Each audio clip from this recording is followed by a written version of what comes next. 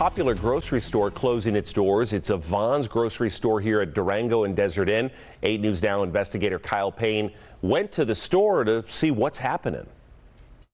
By all accounts, this Vons is very popular and very heavily traveled, leaving customers with questions and, as is often the case in these situations, not a lot of answers. We actually live quite a distance, but we like this store so much we come here.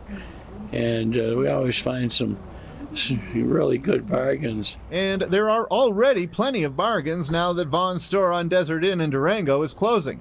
Signs already saying 75% off. The Starbucks closed a couple days ago, but the pharmacy is still open which is one of the selling points for Michael Playstead and his wife Nancy. We've been getting all our vaccine shots here for years because for some reason they never hurt here. I come here every every other day. Colleen Hill stops by on her way home. She uses a lot of storage. Still, it's an inconvenience. Did they give you any reason why it might close, be closing? No.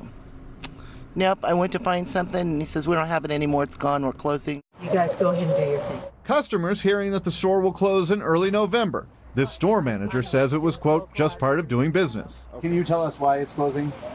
Really, just we make these decisions. Um, they're difficult decisions, and we just make them. Because it's a very popular Vons. It is. Would you say this is an inconvenience? It is. It's a huge inconvenience because now I got to go all the way down to either Albertsons or cut up to Smith's on Fort Apache, so it is inconvenient. The good news for those customers is there are five Vons within 10 miles of here. Reporting at Durango and Desert Inn, Kyle Payne, 8 News Now.